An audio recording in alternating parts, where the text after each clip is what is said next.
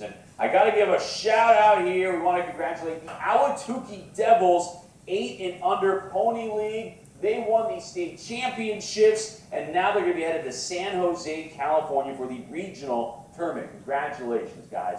All right, that's going to do it for me. Let's send it over to you. Congratulations, indeed. That is pretty cool. That is very cool, yeah. Stay with us, Arizona. Break, we're talking about keeping the kids busy, especially during, the, during these hot summer months. What do you do with them, right?